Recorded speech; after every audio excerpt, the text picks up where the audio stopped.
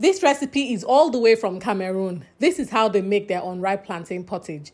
First, you're going to peel your unripe plantain. Next, you want to put it in a pot, add some meat stock. You're also going to add some water because the meat stock may not be enough. Add some onions and some salt. Cover and allow to cook for about 20 minutes.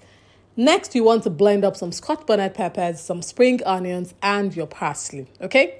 Set this mix aside. When your plantain has cooked for a while, add that mixture into it. Add some ginger garlic paste. I just rinsed off the blender. Add your protein. I'm using some cow tail and cow foot. Added my dry fish, some seasoning powder, and some bitter leaf.